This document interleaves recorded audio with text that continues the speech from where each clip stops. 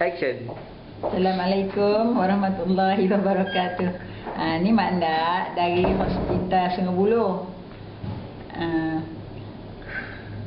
besok pada hari Isnin, lebih kurang waktunya 8.30 pagi, Mak Ndak akan menjalani pembedahan lutut sebelah kanan yang Mak Ndak sakit selama ni tu. Jadi, uh, har, mudah-mudahan anda semua doakan Manda biar selamat semuanya. Ha, itulah rasa sedih je lah juga sebab tak biasa kan. Ha, kot macam mana kan. Ha, tu, tu je lah. Assalamualaikum. And action.